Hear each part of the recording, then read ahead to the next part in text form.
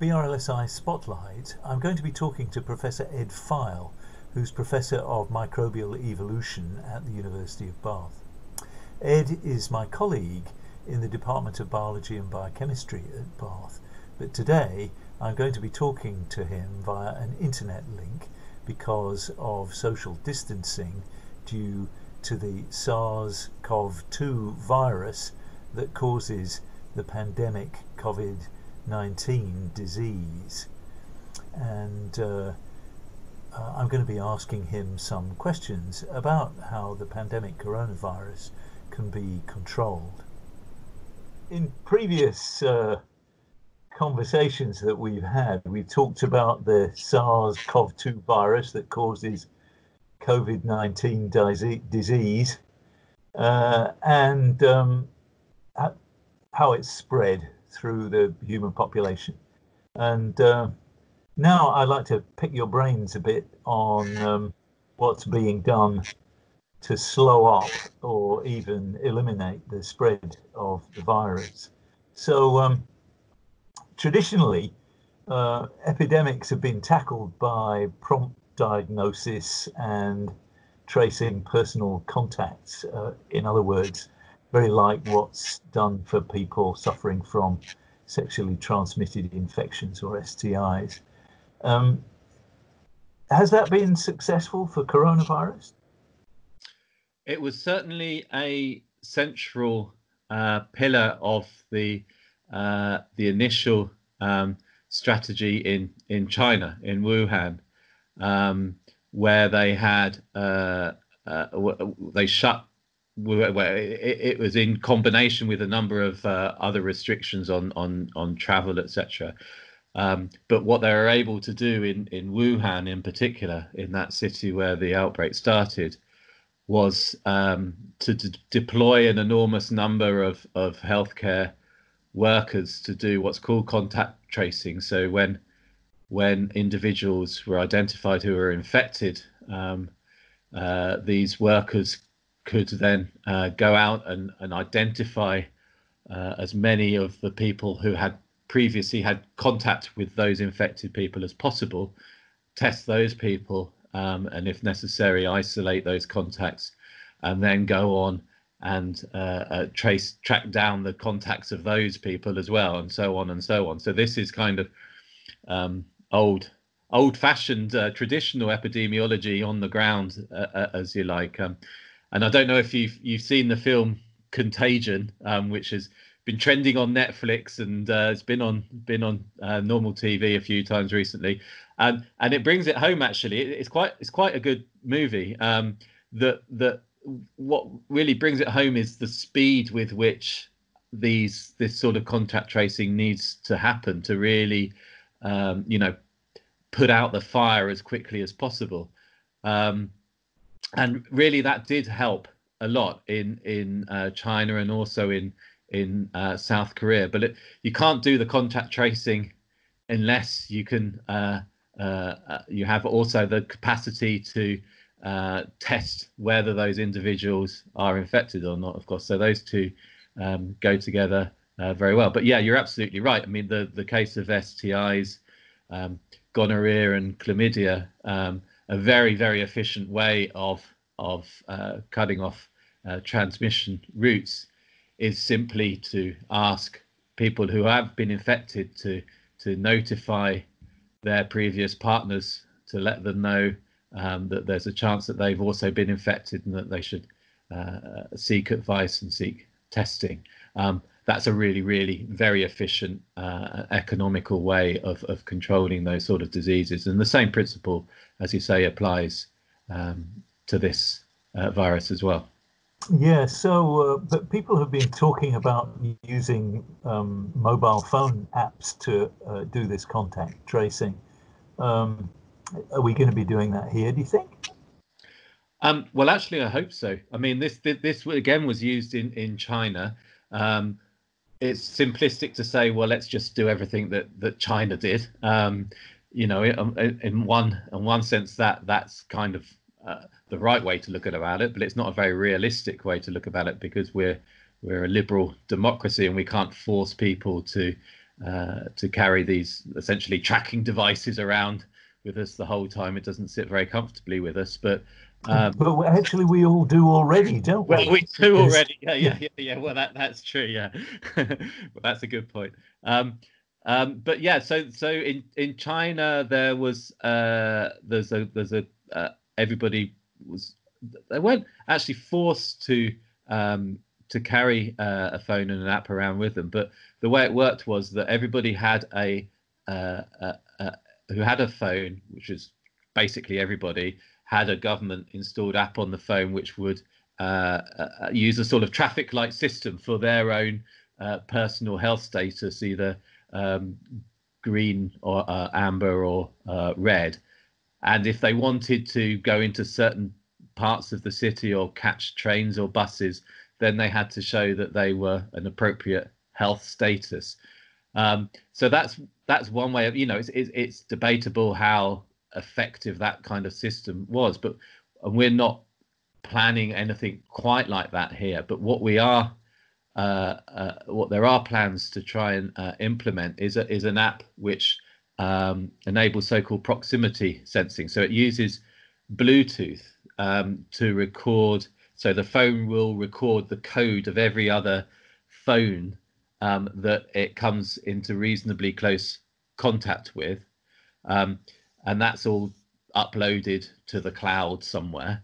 Um, and now when there's a when the, there's a point in time when one person gets infected, um, they will then enter that uh, their health status into the phone, and automatically the the the algorithms will work out which other people that person has been in contact with, say in the previous two weeks, and they will receive an automatic notification um, to go and get themselves tested um, or at least seek advice.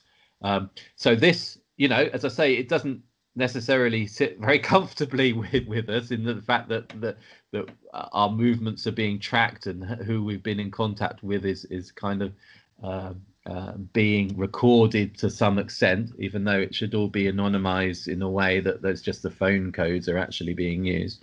Um, but nevertheless, um, if enough people do it, say if half the population buy into this scheme, um, then I think it could really, really help with the next phase of our our, um, our strategy when we we begin to slowly, slowly lift some of the restrictions that we're living under at the moment.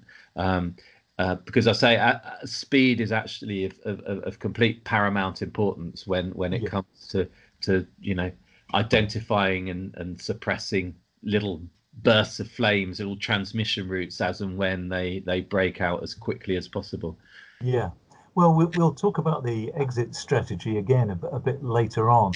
Um, but I guess the thinking about um, tracking devices, I suppose the key to this is persuading people that there's something in it for them. Yeah, that's absolutely right. And I think that that um, that's that that that message um, has largely got through that um, this isn't the, the, what we're being asked to do in terms of our, uh, our behavior, stay at home, and um, isn't just about protecting us. It's about protecting everybody. Um, and it'll be interesting to see how this uh, sort of more sort of population level thinking kind of feeds in over the longer term. Maybe we can discuss this in the in the next interview, but it may be that um, there's a slight shift in in our priorities away from sort of individual rights, uh, which has been the, the sort of cornerstone of medical ethics in particular over the last sort of 50, 60 years, um, back towards a more kind of uh, uh, community population centric perspective. Um, where you know the, the good of the many out, outweigh the, the needs of the many outweigh the needs of the few to to quote um, Mr. Spock. Um, yeah. um, so it, it, you know it may it may sort of be happening to a degree already um, that we're we're we're taking this more sort of community oriented view about uh, uh, uh, that determines our actions, which of course comes more naturally to countries like um, China anyway. Um, well, let, let's see. We'll, yeah, as you say, we'll talk about this again. Yeah. So uh, in in many places, such as the UK, um, non-targeted measures like generally applied social distancing have rather quickly replaced uh, individually targeted responses. And uh, I wonder if you might like to talk a bit about what, why that has had to be and uh, whether social distancing is indeed effective. Um, so, uh, to answer the first question, why was that? I think it was just a realization um, that we needed much more dramatic interventions um, uh, quickly in order to prevent a catastrophic collapse of the healthcare system. I mean, it, it's as simple as that. There's the Imperial College report on the on the uh, 16th of March, I believe, that that made that point um, very clear. Um, the the strategy of sort of individual testing um, was employed uh, in South Korea um, with great effect, and they didn't have all the social distancing. Um, but the difference there was that they had a, a massive uh, capacity. They had a very aggressive uh, testing uh, approach, um, and they were able to to uh, identify cases very very quickly and and nip the thing in the bud without all the social uh, distancing that we've had to do. We we just simply uh, didn't have the capacity to do that on the scale that they did in South Korea. So the the only option was to do uh, undergo the sort of social distancing, which has been the case in in the vast majority of countries.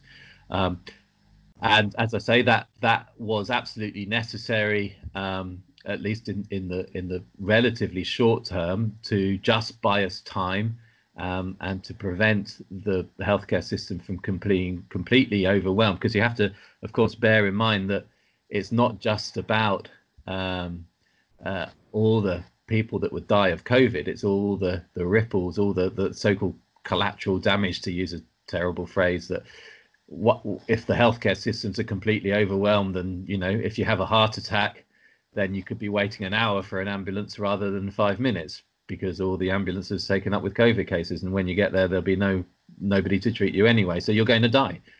um, so, so you know that that's that's what we were up against, and it looks yes. touch wood as if we've managed to avoid that complete nightmarish scenario. And as I say, bought ourselves a bit of time to build up um, some capacity, build up some expertise to brace ourselves for the next phase in our fight against this infection. And, and, uh, sorry, and does it actually work? Yeah, yeah, yeah. and to answer your second question, it does actually absolutely work. Um, if you stop, we know how this transmits. We know how this virus transmits. It a droplet infection and on surfaces. And if you stop those uh, opportunities for infection, then you will slow down the spread of the virus. I mean, we're on tenterhooks at the moment, wait, wait desperately, looking at the the numbers every day to look for signs that we've turned the corner. Um, there may be some signs there, maybe not. It's, it's it's very difficult to say, but there are certainly signs in in in Italy and Spain that uh, that the the numbers of deaths and cases have started to fall, and we're implementing essentially the same measures as as those places. There are differences in details, but um, uh, they are details. So you know they, these measures do work. We will uh, uh, begin to see a drop off in cases and deaths um, shortly. Yeah. Yes, yeah. So um, politicians uh, and uh, other policy makers uh, talk about this social distancing policy as flattening the curve. Uh, yeah. Could you just unpack that for us a bit? I mean, what does that actually mean when we say flattening the curve? So it really means um, uh, avoiding um, uh, uh, a surge of infections and cases and and uh, critically ill people um, that we simply wouldn't have the the capacity to deal with. Yeah. So, it so it's actually all about timing r- rather all, than necessarily reducing the total number of people that, affected. That's right. It's absolutely all about timing. So it may be that in the end we have the same number of, of, of infections um, as we would anyway, um, uh, but just spread out over a longer period. Um, and of course, the longer we can spread it out, it may mean that we have, uh, it should mean that we have fewer deaths because we don't, we're, able to to uh, treat those those uh, patients with it uh, more efficiently. We also buy ourselves time in that we should um, hopefully get some sort of therapeutic advances in drugs or yeah. eventually a vaccine, of course. So, so yeah. yes, it is absolutely all about buying ourselves time. Yeah, yeah. Th- those are two very good points that you just made there, Ed. Um, and uh, I, I, sometimes think that um, you know our policy makers don't get it over well enough to us that actually uh, it is advantageous to everybody to slow, uh, to, to flatten the curve, because those people who would get ill uh, have a much better chance if uh, there aren't too many people all ill at once. Yeah. That's, that's so, um, so, so that's what we're doing. Um, to slow the spread of the virus. In in one of our interviews, we talked about the the reproductive number of the virus, the R naught value, so called, uh, and and what we're really doing uh, in this flattening the curve approach is uh, to um, basically reduce the effective reproductive number, make the virus a little bit less if uh, successful at being transmitted. But once the virus uh, gets to us, um, you know, our immune systems uh, have some say in whether the virus actually causes a disease or not. So, will people become immune to SARS-CoV-2? Um, well, that's certainly the hope um, and certainly the expectation. Um, there will uh, uh, there will surely, I mean, it's it's very very likely that there there'll be immunity over the, the, the short term, but the real question is how long that immunity will last. Um, and you know, basically, we don't really know. Um, uh, the best uh, thing we can do at the moment is to look at uh, other uh, members of the same uh, virus family, the beta coronaviruses. Um, and there's a slightly mixed picture. So if if you look at some of the the um, the more benign viruses that uh, uh, occasionally give us common cold, then um, apparently the the immune response to those viruses doesn't last much longer than a year, which would be quite bad news. Um, if we look at SARS, uh, there may be a slightly stronger immune response which lasts a little bit longer, but we simply don't know um, what how long the immune response to this virus will be. And it's worth bearing in mind that there are no vaccines for any of these viruses. Um, there's no vaccine for the common cold. Um, there are no really good therapeutic drugs for the common cold. There's no cure, as you as everyone knows, for the common cold. Um, so so we're really uh, um, uh, starting from scratch to a degree with building a a, a, vaccine, uh, developing and, and distributing a vaccine for this particular virus, which is quite a contrast from influenza, of course, where we're we've got a lot more experience um, with vaccine development. Um, there may be a seasonable seasonal effect with this virus, um, uh, so it may sort of naturally uh, uh, disappear a little bit over the summer anyway, which of course would buy us a little bit more time in the next phase. But in terms of the uh, in, terms of the immunology, we're still a little bit in the dark, um, and it may be that you know we're seeing sort of intermittent um, social distancing uh, um, and other kind of strategies along those lines for. Uh, maybe into 2022 even. There's a paper um, just out a couple of days ago in science that raised that possibility, um, which will be, you know, kind of coincide with when we expect to have a vaccine not only developed but produced in a sufficient quantity that we can all get some of it, which is going to be the second part of that vaccine challenge. Yeah, yeah, and I guess uh, too, um, our understanding of all of this situation is going to have to depend on medical researchers uh, being able to study the serology of uh, people who've had the disease, uh, looking at, at, whether they actually have good antibodies against uh, the virus and uh, how long they persist and, and so on. Um, and uh, I suppose it's a, a problem that uh, essentially all of our doctors are so busy treating the disease, yeah. uh, they're going to find it quite hard to get um, time to do this. Anyway, um, so th this leads us uh, into um, a rather tricky question, which is um, can natural immunity actually be used as a control strategy?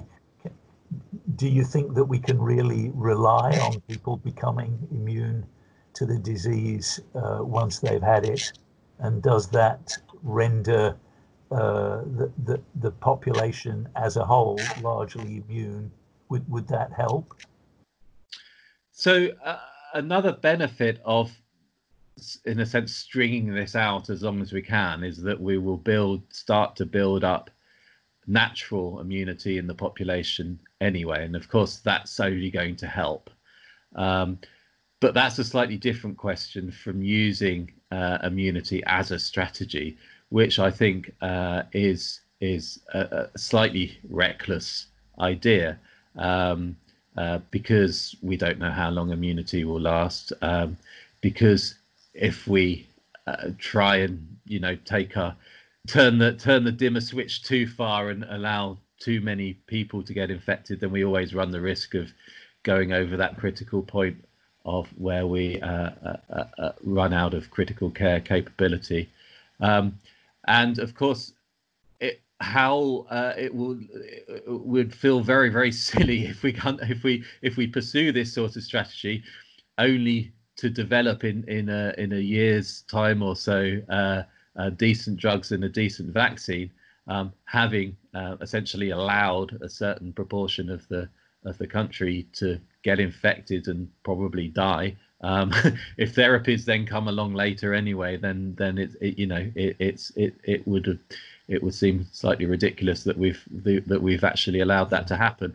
Um, so I think it's going to uh, happen anyway, and of course, uh, the more immunity there is, the better. Um, but I think as a as an overarching strategy for uh, uh, controlling the outbreak, I think that, that it's it's a it's a slightly reckless gamble. Yes, I think the best that one could say about it really is that it would, at the very least, be a very costly yeah. strategy yeah. in terms of of life yeah. um, and suffering. Yeah.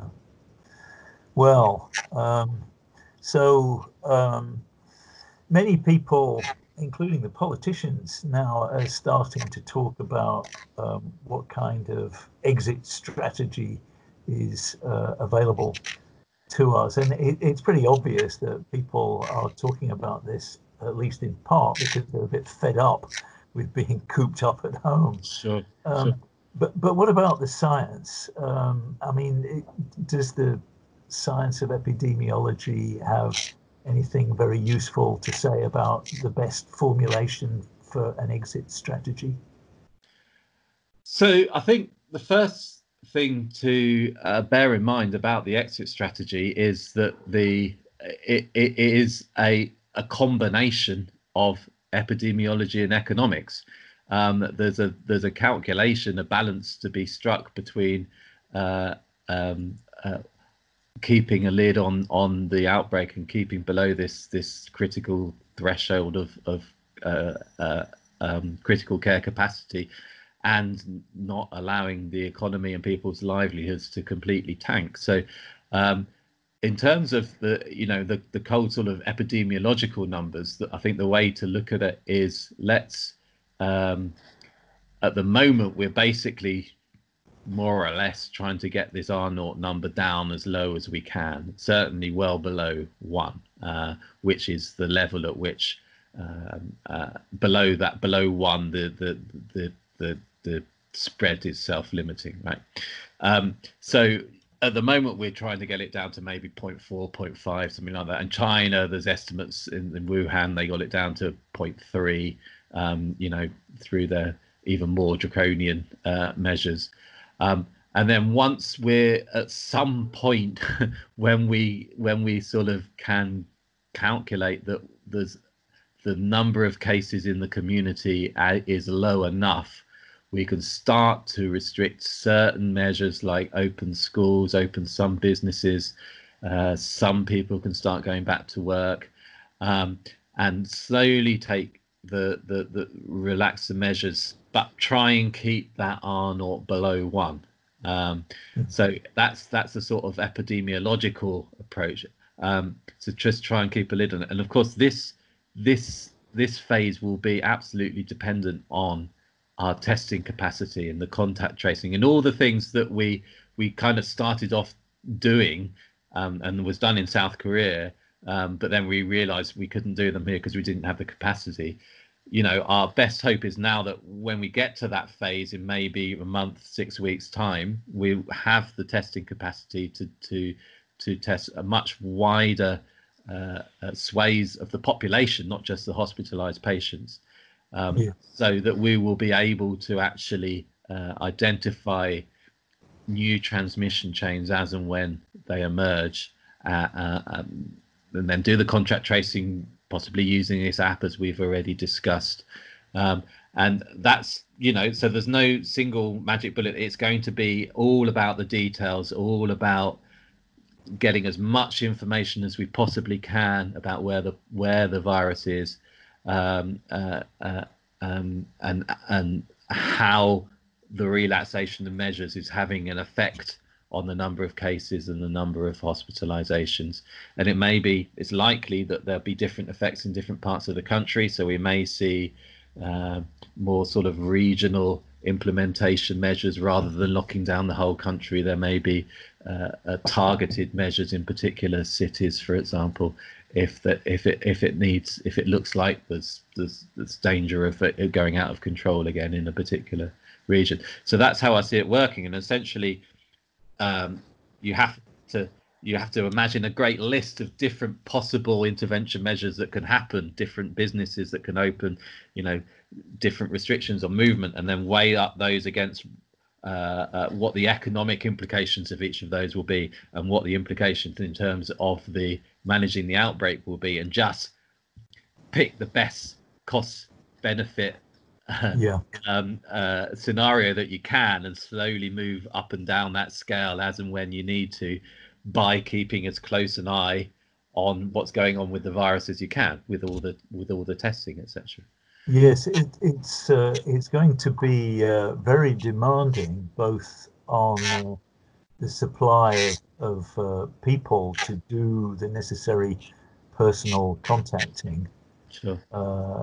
Luckily, there are lots of people who seem to want to volunteer to do that. Yeah, yeah, yeah. Uh, but I guess it will also be very demanding on the provision of adequate testing facilities, and I guess that's uh, a place where we scientists can um, try and uh, pitch in. Absolutely, absolutely, and it's not like we don't have the capacity in this country to do that. It's just that we we haven't been quite as bureaucratically nimble as other countries like Germany, which are which are more decentralized and have been able to utilize their capacity a, a, a lot lot more quickly than we have here. Yes, yes, and I guess the fact that um, a large part of the world's uh, diagnostic industry is located in German speaking countries uh, probably helped quite a lot. Yeah, sure, sure. Yeah, yeah. that's right. So, um, some people, uh, notably President Trump, have said things like, one day it's like a miracle, it will disappear. Yeah. Is that a realistic prospect? I um I don't think we can take anything that comes out of President Trump's mouth as, as anything remotely realistic. um, uh, no, there'll be no miracle. Uh, people talk about SARS um, like like it just fizzled out, but there was no miracle with SARS. It, it it, it disappeared through these very aggressive contact tracing and quarantine procedures that we've talked about. Exactly the same. It was a lot easier with SARS in a sense because there wasn't this stealthy uh, uh, transmission without symptoms. So you you either you got SARS and you knew you got SARS, and people could identify cases, you know, quite easily because they were very very ill. Um, uh, yeah. There was no transmission without the symptoms. So that was the basic difference with SARS. Um, but it wasn't a miracle. It was through it was through massive amount massive amount of effort um, uh, uh, and you know mobilization of an enormous uh, amount of resources and, and manpower, um, which is you know what we what we're going to need now and then a lot more. You know, um, so no, there's no miracle. It's going to be uh, a, a, massive drain on on on resources. Um, uh, it's going to be a massive scientific, collective, global effort um, and uh, you know the withdrawal of US funds from WHO this morning. Oh, uh, just you just you just want to hold your head in your hands, and you know now of all times to. I mean, it's it's really really uh, so uh, makes you so frustrated and angry. Um, um, so no, it's going to take a, a, all hands to the pump. Um, that's the only yeah. way we're we're, go- we're going to get through this, really. Yeah, I suppose uh, uh, a more positive way of looking at it is that uh, it's often been observed that people work together best when their backs are against the wall. Yeah. So uh, some collective responsibility and a collective response will be good news. Absolutely, and and and uh, and uh, an example of that is is the uh, so my particular uh, field of research is really on the genomics. Um, so understand using the the DNA or RNA sequence data to to try and figure out how it, it's spreading around and mutating.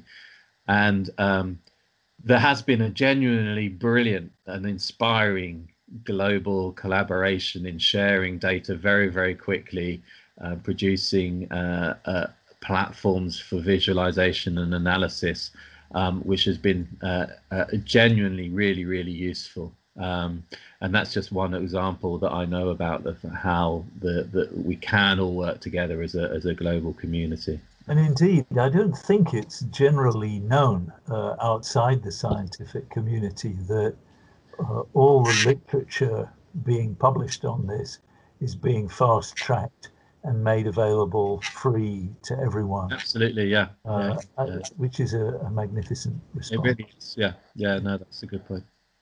Well, Ed, thanks very much. I, I think you've done really a lot today to answer lots of people's basic questions about how this pandemic coronavirus is currently being tackled. And uh, next time, uh, when we meet again, um, we'll try and talk about how the pandemic might alter the basic fabric of our life. yes. Um, yeah. So, thanks a lot, and uh, I'll see you next time. Thank you, Stuart. well. Yeah, you too. Bye bye. Thanks very much to Ed Feil for talking to me today about the pandemic coronavirus that is causing such havoc all over the world. Um, I hope that you watching this uh, have enjoyed this BRLSI spotlight and uh, that it leaves you better informed about uh, the current pandemic crisis. But before I sign off, I'd just like to remind everyone watching this of some really important things that we all have to do to reduce the spread of the virus. So, uh, social distancing is important, so please um, stay inside unless you need to be out.